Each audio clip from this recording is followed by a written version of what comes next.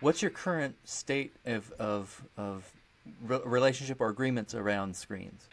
Children can bring in screens if their parents. It's really a, yeah, it's a parent's decision, I suppose, if they want to give their child that that that level of freedom. And so, if a child has a device that they're able to bring to school, they're allowed to use it at school mm-hmm. in whatever way they wish. So the we have again a cert for that. So there's a, okay. a tech cert which just lays out, I suppose, some guidance on how to manage your relationship with tech mm-hmm. uh, in a mm-hmm. way that's healthy for you, and and also to adhere to the laws of the land in terms of what's appropriate content for your mm. age and all of that.